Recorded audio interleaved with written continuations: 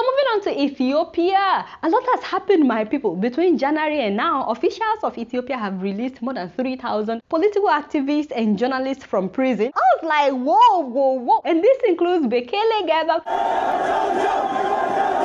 Bekele Gerba, who is the Secretary General of the Oromo Federalist Congress, addressed thousands of his supporters and urged them to continue with their peaceful protest until all political prisoners were released. Merera Gudina. Merera Gudina is a hero to his supporters, and thousands of excited well wishers formed a guard of honour to escort his convoy the nine miles from the detention centre on the outskirts of Addis Ababa to his home. As well as Eskinder Nega. I was like, what? Eskinder Nega has been released? Oh!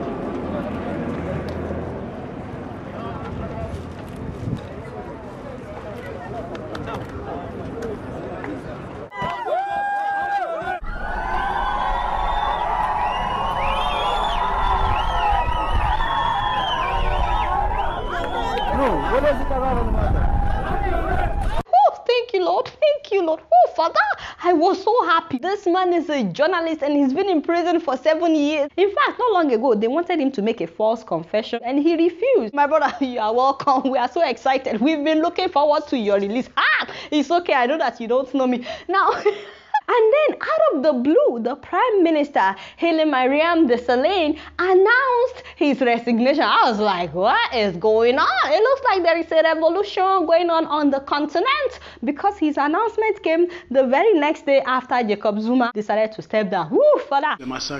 Unrest and political crisis have led to the loss of lives and the displacement of many.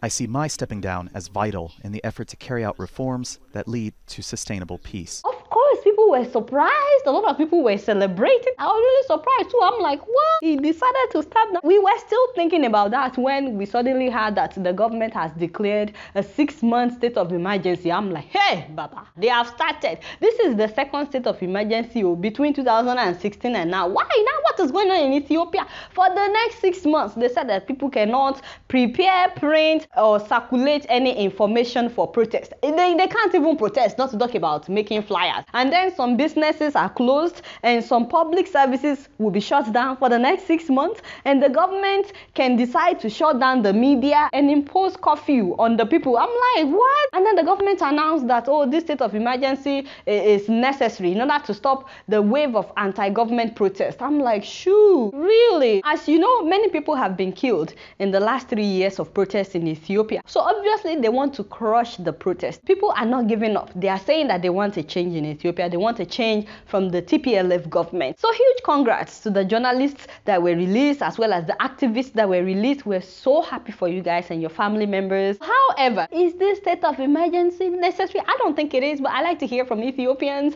And also, did the Prime Minister completely relinquish power? So please leave a comment below. You guys don't know much. Guess what? I'm just keeping it real.